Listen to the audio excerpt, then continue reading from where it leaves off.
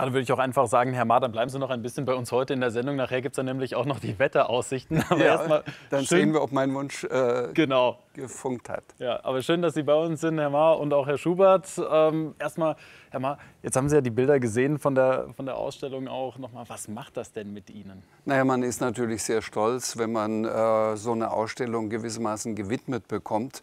Und ich denke, das geht jedem so, ganz egal, ob er Autor ist oder Geschäftsmann, wenn er zu seinem 80. Geburtstag ein Museum gewissermaßen äh, für sich hat dann kann man nur sich freuen und stolz sein. Ja, also viele äh, Kindheitserinnerungen werden da wach. Herr Schubert, wie ist das auch bei Ihnen? War das auch so ein persönlicher äh, Wunsch, all diese Helden dann nochmal hervorzuheben?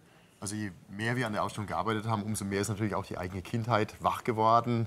Mir sind wieder äh, Geschichten eingefallen, wie ich zum ersten Mal das Sams sah. Das war damals die Augsburger Puppenkistenverfilmung. Oder auch äh, andere äh, Figuren, natürlich wie der kleine Wassermann. Da habe ich dann mein altes Kinderbuch hervorgeholt, habe gesehen, ich habe jede einzelne Grafik damals ausgemalt.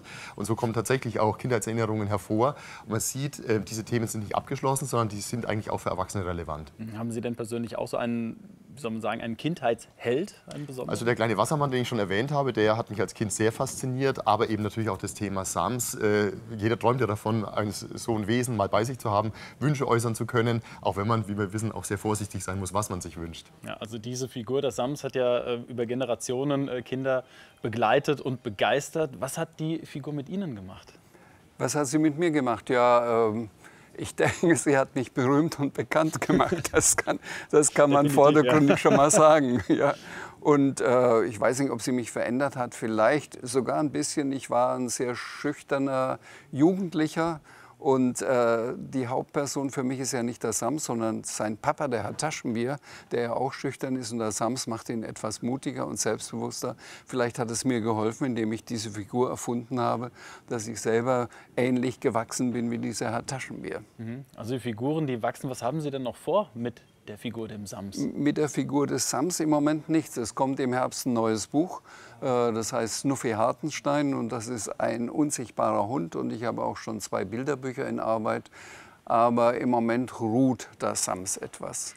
Wie sind denn bislang auch so die Reaktionen? Gut, morgen geht es dann äh, richtig los, aber natürlich äh, hat ja auch schon der ein oder andere ein bisschen reinspinksen können. Ja, also wir haben natürlich heute schon in den Gesichtern gelesen, wie die Leute auf die Ausstellung reagieren. Und tatsächlich, es sind verzückte Gesichter, es sind äh, amüsierte Gesichter.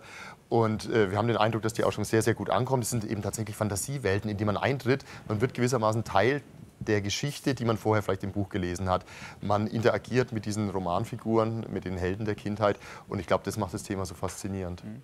Wie ist das mit Ihrem äh, Fantasiehorizont? Der ist natürlich sehr weit, das merkt man in Ihren Büchern, aber äh, gibt es auch gewisse Figuren, die äh, andere erschaffen haben, auf die Sie gerne schauen?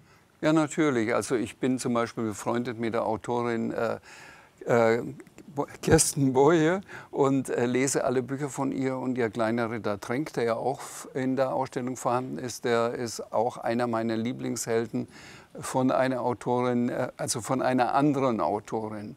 Ähm, den kleinen Wassermann mag ich auch gerne, kleine Hexe, das stimmt, aber äh, ich würde favorisieren äh, Kirsten Boye.